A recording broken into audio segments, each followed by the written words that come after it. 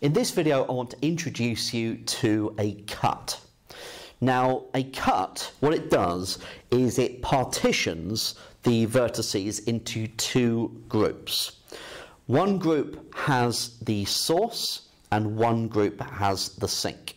Okay, so an example of this and the way that we write it is we use curly brackets and we could have S and A, for example, in one set, and in the other set, we've then got B, C, D, and T.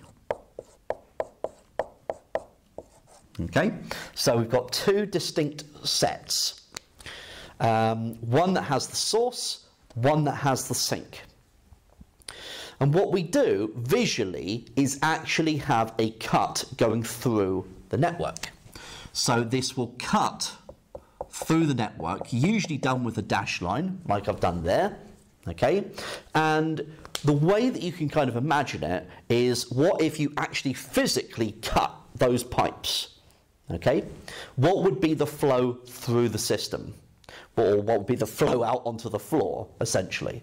So it kind of creates like this big puddle, if you like, right? And when you make that cut, so, when you are doing this, you are looking at the arcs that you are cutting through, okay, and you count only the capacities that are going from the source set to the sink set. Okay, so you count those only. If you've got an arrow that is going from the sink set to the source set, then it contributes zero. Okay?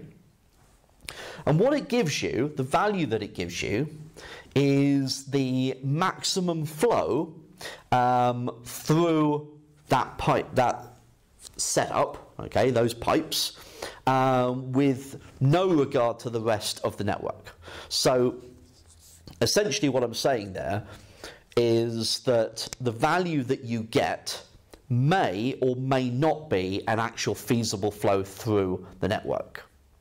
Okay, so in our case, because we've cut through 10, 5 and 12, and these are going from the source set to the sink set in all three cases, the value of this cut is 10 plus 5 plus 12. So that would be 27. Okay? So that is what we mean by a cut. And we can make cuts in lots of different ways. So let's just erase that cut. For example, like so. And we can make another cut. Let's say we've got, uh, as another example, um, S, uh, let's have B and D. And in the other set, we've got A, uh, C, and T, for example. So where would the cut actually be? So we'd be cutting through here. Okay?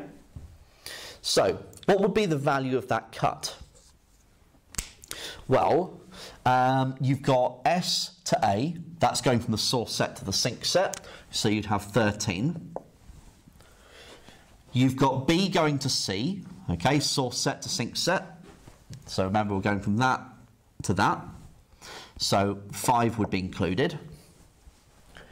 Now the 5 going along from A to D, although that edge is being cut, you're going from one in the sink set there to one in the source set. So that's not included. So we ignore that one. And then we've got D to T, which is going from the source set to the sink set, so plus 12. So then we've got 13 plus 5 is 18, plus 12 gets us 30. Okay, so this is how we can find the value of a cut. Now, in the next video, we're going to consider how we can actually work out how this helps us find the maximum flow.